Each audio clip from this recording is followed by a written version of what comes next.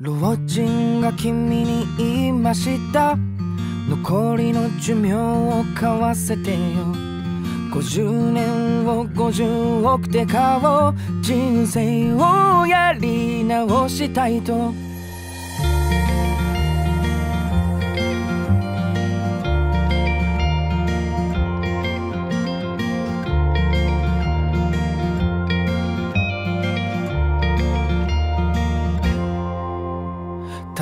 起きて食って働いて寝て起きて働く毎日だ。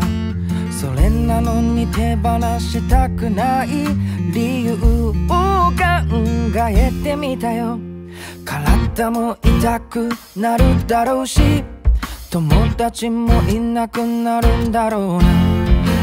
恋愛もできなくなるような。その値段じゃ売れないな。僕が生きてるこの時間は50億以上の価値があるでしょ。う生きてるだけで丸儲け。これ以上何が欲しいというの？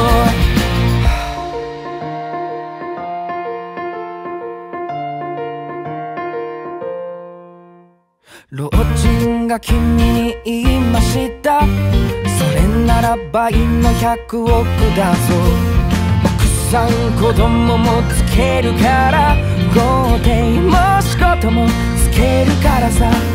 50年が100億ならば年収2億の大富豪だ。でも好きな人は自分でさ。見つけたからいらないよ。僕が生きてる。この時間は100億以上の価値があるでしょ生きてるだけで